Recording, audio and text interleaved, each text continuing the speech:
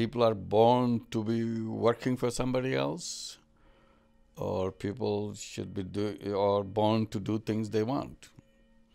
Mm, without knowing anything, probably you'll say, no, people are not born to work for somebody else. Uh, that's not how it works.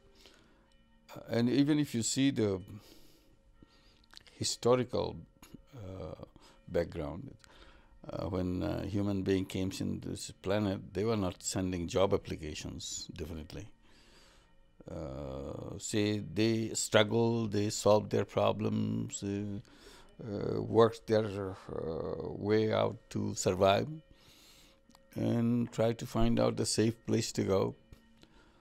Uh, they showed all the elements of being go-getters, not trying to hide under somebody's uh, wings that uh, you save me and I do everything you want me to do for you. That's not what's done. So I would say uh, it's in human DNA uh, to be a, a go-getter and problem solver, which we call entrepreneurship. Uh, I would say working for somebody is a very artificial thing it uh, goes in the legacy of uh, slavery. Uh, you circumstance you create circumstances in such a way that he or she doesn't have any other way but to work for you. But the human condition nowadays, or many humans are conditioned to work for other people, work for big corporations.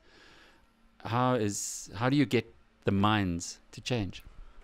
Uh, this is a manipulated mindset because you send your young people to school and they put this idea that you have to work hard so that they get a good grade and a good job. Without those requirements, uh, they will not have a good job. Uh, good job. So everybody is struggling to. End result is to have a job. Uh, who said that they have to have a job?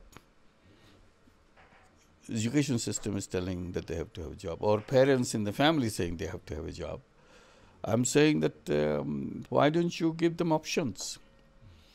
That if you want to have a job, this is how you do. If you want to be a job creator, this is what you do. And let them decide what they want. That will be natural thing. And I try to the, tell the young people that uh, you should be telling yourself that I'm not a job seeker, I'm a job creator. And be a job creator. So this is the most natural thing to do. But still, even the education system is telling them that yes, you can be entrepreneur, you can be um, job seeker. We have not created the ecosystem for being entrepreneur because uh, if I come out of the school and look uh, start the opportunity of being an entrepreneur, there is no financial system which come, comes and backs me up.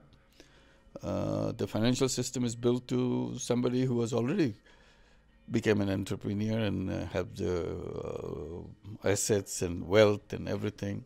So they will be serving them so that they can hire other people. That's why I see you're, you're forcing people to work for you because you don't get, leave any door open for them. That's why the uh, working began. And the education system kind of fueled that system. You keep on producing workers and I believe that human beings are born with unlimited creative capacity. An education system is to help them to discover their creative capacity. But instead, the way education system works, it helps you uh, to find a job so that you lose all your creative capacity.